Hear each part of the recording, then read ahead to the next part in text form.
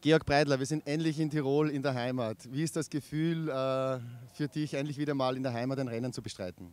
Ja, ist wunderbar. Also es ist schon ewig her, ich kann mich fast gar nicht mehr erinnern, wann ich das letzte Mal in Österreich äh, so ein stark besetzt internationales Rennen gefahren bin. Und es freut mich natürlich, vor heimischer Kulisse zu fahren. Doppelt so schön, äh, dein Teamkollege Thibaut Pinot ist im Führungstrikot, äh, war wieder eine sehr schwere Etappe für euch, oder? Ja, auf jeden Fall. Also es war, war nicht einfach gestern am Mendelpass.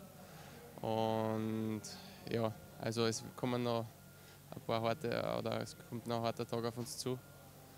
Und wir hoffen, dass wir das verteidigen können. Morgen, letzte Etappe, äh, geht auf den Kurs der Radweltmeisterschaften in Innsbruck heuer im September.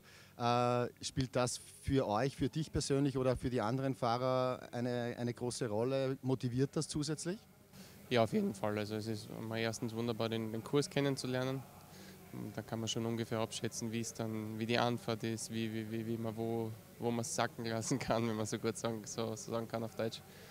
Und eben in Innsbruck, das Finale ist auf jeden Fall spektakulär. Ja. Zweitbester Österreicher, Georg, äh, was sind deine Ziele für die letzte Etappe? Ja, also das mit dem Österreicher ist halb so, halb so schlimm. Wir wollen die Rundfahrt gewinnen, ja.